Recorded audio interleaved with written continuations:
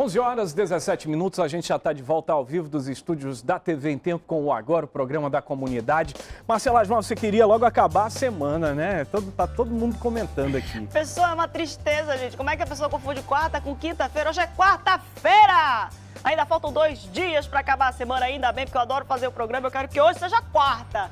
Não quero que seja quinta. Por um minuto, Hoje eu, quero... por um minuto eu também pensei, sabe, Olha diretor? Isso, Ainda faltam né? dois dias para a quinta. É, Ai, não, não, não para acabar, acabar o programa. Hoje é quarta-feira. Para acabar a semana.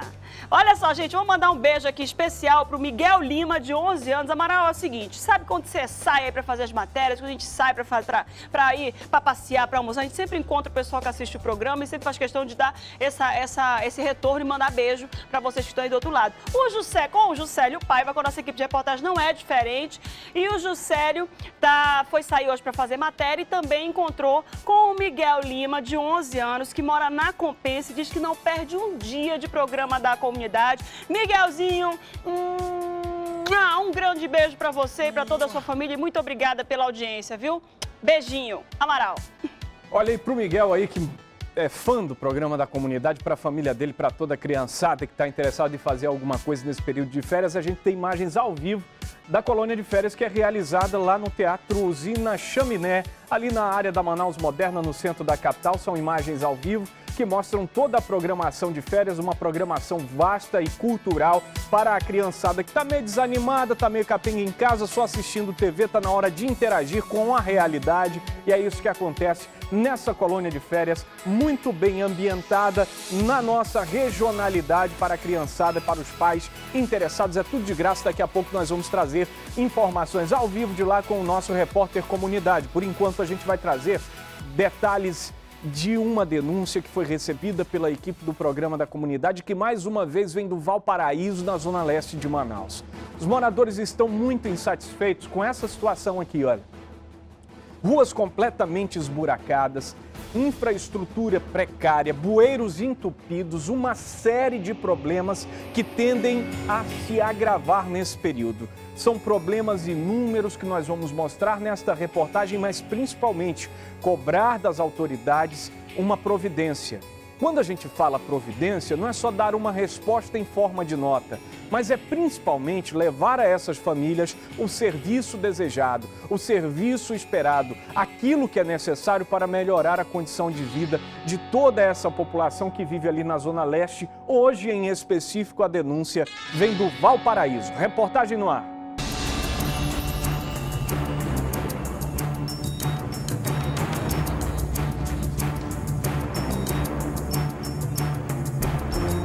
Entrada da rua, o lixo dá as boas-vindas. Sem asfalto, o que incomoda mesmo é a buraqueira. Os moradores jogaram entulhos para amenizar o problema com os buracos.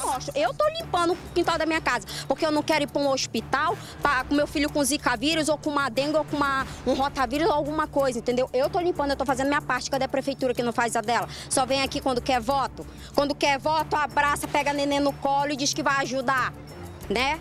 Então pronto, a gente está aqui reivindicando nossos direitos. Isso daqui é uma forma de protesto, esse lixo aqui na frente, ó. É uma forma de protesto, eu quero saber a resposta, quando é que eles vão dar para tirar daqui. Porque... O mato também é presente, além de bueiros sem tampas, que representa perigo quando chove.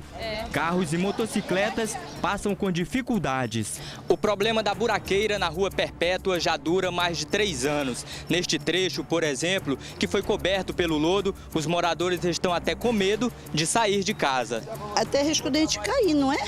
De repente, numa idade que eu tô, meus ossos tudo doídos, de repente eu atravesso aí caio. Olha, eu aí... tenho uma filha pequenininha, né? Eu tenho que todo tempo estar tá com a porta fechada, porque se ela cair aqui, olha um monte de buraco, né?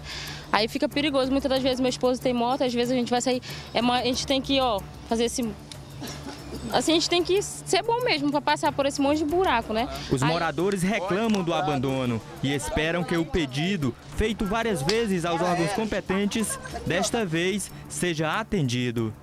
Você ter seu carro, ter sua moto, você não pode nem andar.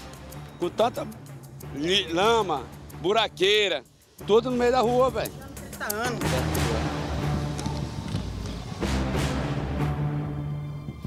Chama bastante atenção aqui que no início da reportagem a gente tem uma moradora cheia da razão, reclamando da prefeitura, da ausência dos serviços públicos, mas foi ela que colocou um monte de entulho no meio da rua.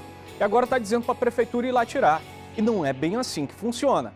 Não é desse jeito que se tem razão. Aliás, ah, o que ela diz tenta encobrir um problema sério que se repete por toda a capital. E aqui a gente fala aquilo que é certo, viu? Preste bem atenção nisso. Morador não pode deliberadamente limpar o quintal de casa, tirar todo o entulho e jogar no meio da rua sem nenhum tipo de, de responsabilidade, sendo que tudo isso uma hora vai parar lá no bueiro, vai entupir tudo, vai uh, trazer o mosquito da dengue, que é o transmissor também do Zika vírus, e todo aquele medo que ela tem por conta do quintal sujo vai continuar, porque a frente da casa dela está suja e o pior, está prejudicando outras pessoas.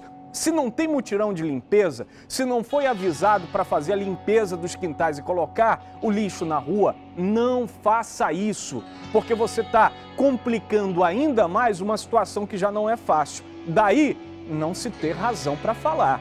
Vai ter razão para cobrar se não faz a sua obrigação de cidadã? Isso é muito sério, viu? E infelizmente tem muita gente que tem a mesma avaliação. Aí, olha, tá aqui. Volta essa imagem, Cristiano Loureiro. Cristiano já parou ali numa imagem. Volta lá, por favor, no ar mesmo. Olha só, o lixo está aqui na frente da casa. Aí o lixo foi posto na frente da casa, ele desvia automaticamente a água que está no meio-fio. A água do meio-fio vai para o meio da rua que já está completamente esburacada. E aí na área onde ainda tem um asfalto, vai formando aquele limo, aquele lodo por cima do asfalto. E aí fica todo mundo com medo de passar em cima do lodo e com certeza, se passar, vai escorregar e vai cair. Porque ninguém aqui tem pé de osga que prende na parede, que prende em todo lugar. Escorrega mesmo, cai, é um risco iminente para todo mundo e principalmente para a idosa, que tem problemas ali nos ossos e se tiver algum tipo de queda, certamente vai ter uma fratura e um problema ainda maior. Ou seja, não se pode ter essa conduta. O bairro já vem sofrendo pela ausência de infraestrutura, a gente vê pelas próprias imagens que os buracos são enormes, não se tem pavimentação faz muito tempo, a água do meio-fio está passando pelo meio da rua porque o meio-fio está cheio de lixo que o próprio morador vai lá e coloca. Então, nesse momento, o morador não pode agravar essa situação.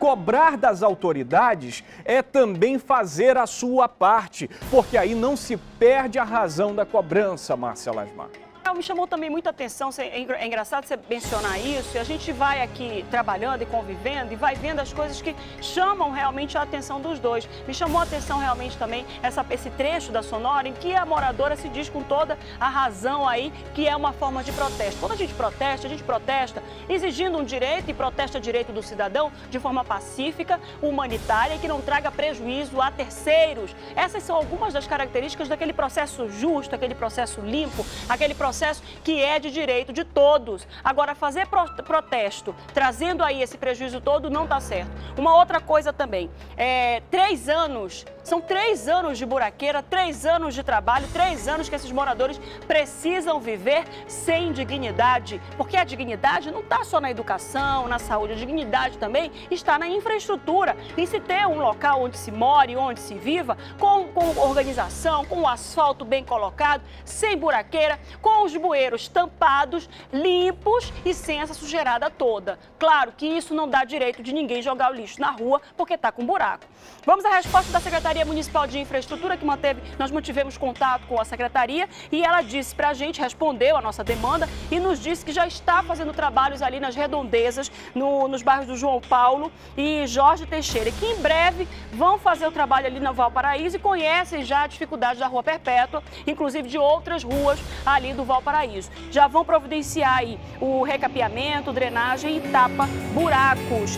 E não diz a data, né? A gente quando faz essas matérias, quando vai lá conversar com, com o telespectador, quando o telespectador liga para a gente fazendo a denúncia, quando a gente busca aí junto ao órgão público uma, um posicionamento, uma satisfação com relação àquela infraestrutura precária, a gente quer uma data, né? Quer um, um, um período, um projeto, e não simplesmente que está na pasta e que está ali no, no, na agenda e não se sabe quando que vai se consertar. A gente espera que esse ano aí, como a gente já tem visto que é um ano atípico, um ano com poucas chuvas, portanto um ano de mais trabalho ainda da CEMIF, E uma oportunidade que a Secretaria tem de colocar em dia todos esses, esses, trabalhos de infraestrutura e recapeamento, porque precisa estar sem chuva para poder trabalhar, né, Amaral? Exatamente. Agora a gente vai falar de um projeto de lei que é polêmico e que fala exatamente de assentos preferenciais em ônibus, no transporte público da capital. É uma lei que gerou polêmica exatamente porque cobra a responsabilidade de fiscalização. Toda vez que se fala de lei, é interessante a gente dizer que tem que se ter automaticamente o, o mecanismo é, fiscalizador, porque senão não adianta ter milhões de leis se você não tem quem as fiscalize na prática. E é o caso, por exemplo, dessa lei que coloca todos os assentos dentro do coletivo como assentos preferenciais, ou seja, tem grávida dentro do ônibus, ela pode é, requerer o direito de sentar. Tem idoso, ainda que o ônibus esteja completamente lotado e os assentos hoje preferenciais também, ele pode requerer o direito de ir sentado ali em um daqueles assentos. É disso que trata a lei. A gente vai comentar já já, depois da reportagem na tela. Vamos acompanhar. É sempre assim. Impede lá até aqui, lá da compensa aqui. Aqui ninguém, velho aqui não anda sentado não. Não tá lotado, o pessoal não quer sair, pá. o cara entrar, fica no meio, o cara tem que dar o jeito, né? Eu pedi para abrir a porta de trás e ele não abriu, mandou eu entrar por aqui. Porque nós velhos é para nós entrar por trás quando tá cheio aqui. Idosos, deficientes, obesos, gestantes têm dificuldades em conseguir um assento. É que os lugares destinados aos grupos preferenciais são poucos e o pior, falta respeito da população. Todo mundo vai ficar idoso, né? Ninguém vai ficar jovem a vida toda, né? Tem que ter prioridade. Só que um projeto de lei de autoria deste vereador quer tornar preferencial todos os assentos dos ônibus do transporte público da capital. Ou seja, os usuários devem ceder qualquer lugar aos passageiros com prioridade. Prioridade não quer dizer que as pessoas não possam sentar. Podem. Lutou, tudo bem. Agora, apareceu uma mulher grávida, uma mulher criança no colo e ninguém levantou, o motorista pode obrigar uma pessoa a levantar. A proposta gera polêmica. A norma deixa brechas na aplicação da lei. Ela não prevê multa ou punição para quem descumprir a decisão. E ainda, segundo especialistas no assunto, fere o direito do consumidor, ou melhor, do usuário que pagou a passagem. A única punição será o constrangimento e o juiz da causa, o motorista. Por exemplo, se algum passageiro estiver sentado e um idoso estiver em pé, o motorista tem o direito de parar o ônibus e pedir para a pessoa ceder o lugar. Mas será que a lei daria certo? Essa liberdade ela vai acabar gerando problemas, porque como é que o motorista vai escolher o que está mais nas primeiras fileiras ou o que está mais no final? O que está no corredor ou o que está mais próximo da janela? Já que essa lei não traz nenhuma, nenhuma sanção, eles terão que agir de acordo com a sua consciência. E caso queiram continuar sentados no local, o motorista não terá nenhum poder de, de fato, interferir. E os usuários em geral do transporte coletivo, será que vão se sentir constrangidos em ceder o lugar? A gente que é mais novo pode ficar em pé e dar para a pessoa mais velha sentar, com certeza. Porque é o direito dele, né? Direito do idoso, né? Já os motoristas que vão atuar como fiscais da nova lei têm opiniões diferentes sobre o tema. Idoso só pela porta dianteira e sair pela porta dianteira. Entrar e sair pela porta dianteira. Aqueles entram por trás. Aqui fica muito cheio aqui na frente aqui. Polêmica ou não, a proposta já foi aprovada por todos os vereadores e aguarda a sanção do prefeito de Manaus, Arthur Neto. É uma lei que não vai criar problema, ela é eminentemente educativa. Nós estamos educando por lei o que deveria ser educado na escola ou em casa. Essa lei poderia também ser chamada de lei do resgate porque 30, 40 anos atrás não precisava de lei para se saber que uma pessoa idosa tem preferência, para se saber que uma mulher grávida tem automaticamente a preferência. Pessoas com algum tipo de deficiência precisam ter essa preferência. E é uma questão de educação que, infelizmente, não está dentro do ônibus.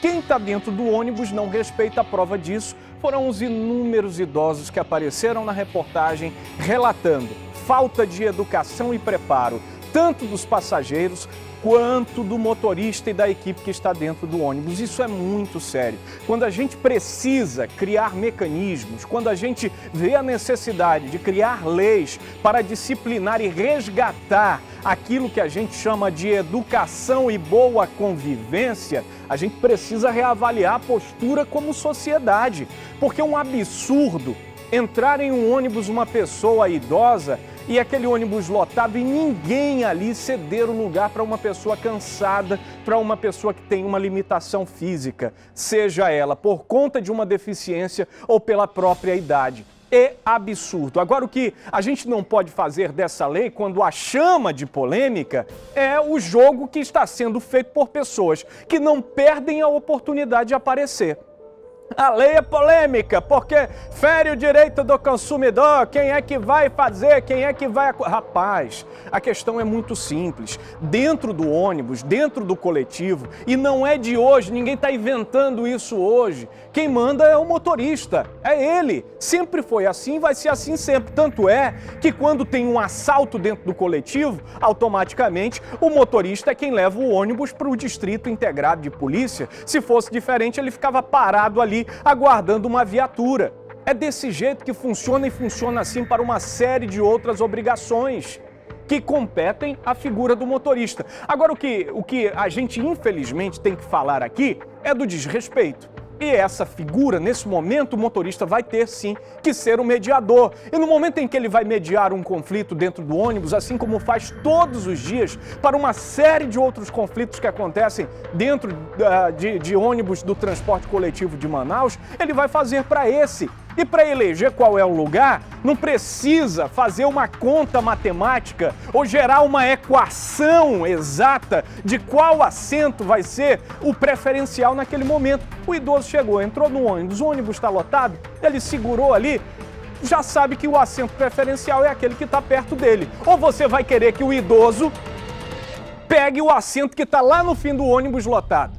Isso é bom senso. Se tivesse bom senso, aliás, não precisava ter lei seca para disciplinar motorista que sabe que não pode beber e dirigir. Se tivesse bom senso, a gente não precisava nem de sinal de trânsito. Mas, infelizmente, à medida em que a sociedade cresce, diminui também o bom senso. E doses de bom senso são fundamentais para que a gente viva bem em sociedade. 11 horas e 34 minutos. Amaral Augusto disse tudo. Eu acho que é isso mesmo. Acho que essa lei vem para normatizar a moralidade e a educação doméstica, coisa que a gente tinha que aprender em casa. E só mais uma, só uma observaçãozinha que eu tenho aqui para tentar complementar, né, para tentar ajudar aqui.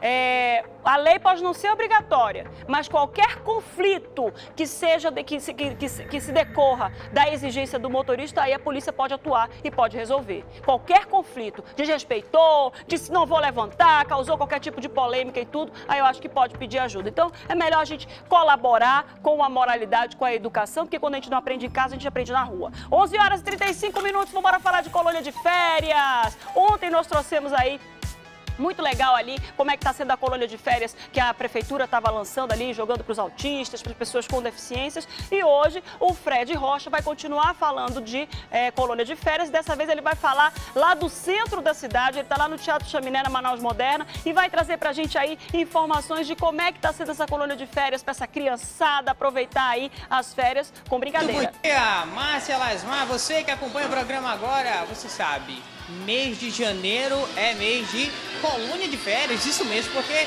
a criançada está em casa, ociosa, e o que, que os pais fazem? Trazem para cá. As crianças brincando da famosa brincadeira Dança das Cadeiras. Hoje pela manhã, pelo menos 50 crianças estiveram por aqui, algumas ainda estão aproveitando a colônia de férias. E para você que está em casa, eu sei, já está curioso, quer trazer o seu filho para brincar aqui também.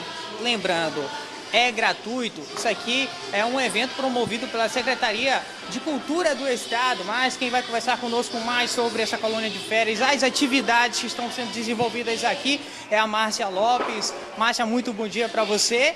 São brincadeiras tradicionais também, brincadeiras que fazem com que os alunos eles aprendam histórias da cultura. Explica pra gente.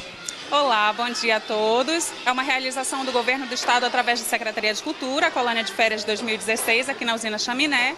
A, a, principal objetivo é fazer com que a gente resgate brincadeiras tradicionais, pula-corda, dança das cadeiras, estátuas, brincadeiras que hoje em dia as crianças algumas nem conhecem, né? E além da gente estar tá mostrando a cultura indígena, o branco, o negro, o índio, a gente fala sobre as lendas amazônicas do Boto, da Iara, E eles têm uma oportunidade de estar conhecendo as exposições também. Nós temos as exposições de sentidos da Amazônia, além de todas as brincadeiras. Muito obrigado pelas informações. Olha só, esse painel aqui é do Macunaíma, né? Um personagem indígena que nasceu do eclipse do Sol e da Lua. E aí, na historinha, ele tem a missão de apanhar os frutos e dar para os índios macuxi. A gente vai chegar até aqui porque as crianças estão brincando, elas já aprenderam toda a historinha agora, né? Chegou a hora que eles tanto esperam. O Tiago, Tiago, o que, que você mais gosta de brincar aqui? Bom dia. É a brincadeira de colher a fruta. Por quê? Porque além de ser uma brincadeira bem legal, é, mostra como a, os indígenas é, colhiam as frutas. E depois distribuir para os índios macuxis, né? É. Só, o Thiago aprendeu direitinho, hein? Vai chegar em casa com a historinha completa e ainda se divertiu. Você quer saber qual horário que funciona aqui? Das 9 da manhã às 11 horas e de tarde das 1 hora até às 4 horas. Funciona de terça a sexta e aos sábados de 9 a 1 hora da tarde. Ali, ó, tem um outro, né, mural que foi aqui construído por os, pelos organizadores que mostra a vida do indígena. Por isso você está vendo aí a pesca, ou seja, né? Você pode trazer seu filho para cá, tem muita diversão. Então é isso, Márcia e Amaral. Vocês, né, Amaral Augusto, eu sei que tem filho, tem filha, pode trazer para cá, viu, Amaral? Vai se divertir bastante. Eu volto com você ao estúdio.